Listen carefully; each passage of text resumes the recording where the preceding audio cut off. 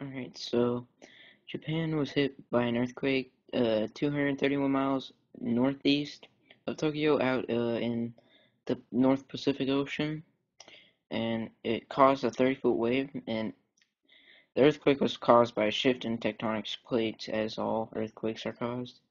And when the wave hit, it really hit hard, and it caused four nuclear power plants to shut down. One of them even leaked out radiation, ca causing 10 kilometers of around distance to evacuate.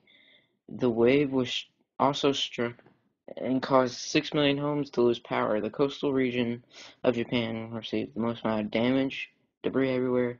Caught, uh, people caught were, were caught in, under rubble, and 15,000 people even died. Hello, my name is Justice Cooper, and I'll be talking about the Japan earthquake and tsunami which occurred on March 11th, 11th 2011. Alright, before the earthquake and tsunami struck, uh, Japan was one of the most prepared countries for such disasters. It had several sea walls surrounding the coast, and um, they had buildings that were made out of materials that wouldn't like collapse during the earthquake. It would just bend instead of collapsing on itself. Also, kids were put through rigorous drills that could show them and show them like how it will feel during an earthquake and how to deal with that. Also, every school or like very large business would have a chute that would come out of like every room and like so they can slide down it to safety and escape the building before it could cause harm. Also, uh, they were also put through the drills. And uh, the country was tested, well, the government was tested about like their politicians to see how they would deal with such things, like what they would put the money towards, towards, and what what should what should be built first. Also, the um, other countries were affected, such as China and some other regions, but they, those damages were just minimal to what happened in Japan. Uh, Japan was in debt about 200% below than usual GDP. It was pretty bad. Also, all means of transportation was pretty much just shut down due to the earthquake and tsunami just wiping out all sorts of tra uh, transportation. It would, so everybody was like isolated in that one area. So most of the people died just because they couldn't get out. So they most of the people just um, suffered underneath the rubble of their houses and other businesses. And that's pretty much how all the people, there was a large death number.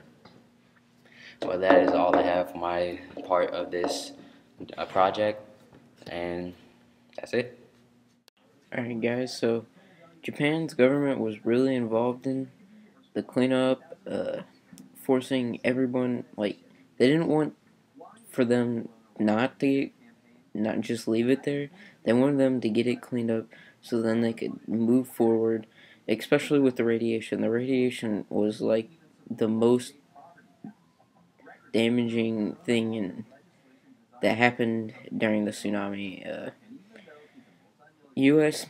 was really involved. They sent like seven ships, a few search and rescue teams, a bunch of military members just so they could get Japan secure so that nobody would come in while they were in devastation and so J Japan could clean up.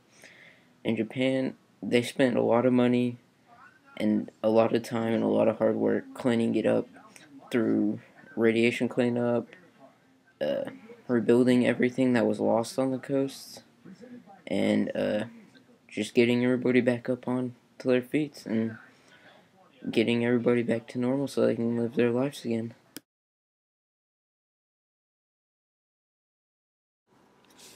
Alright, now after the tsunami and earthquake struck, there was a lot of debris and rubble just being pulled into the ocean, uh, killing a lot of sea creatures and just uh, living organisms, just polluting the, just polluting the entire ocean. Well, at least that region of it.